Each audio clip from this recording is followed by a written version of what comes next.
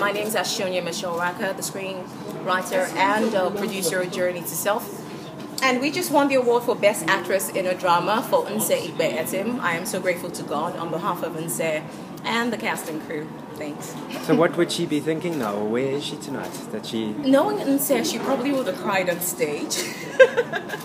yeah, she's pretty sensitive that way. Um, I'm pretty sure I'm going to give her a call as soon as I get back to my hotel room and give her a call. And um, I'm pretty sure she'll cry on the phone. but I know, I know she'll be grateful for this because um, it's long, long, long, long overdue.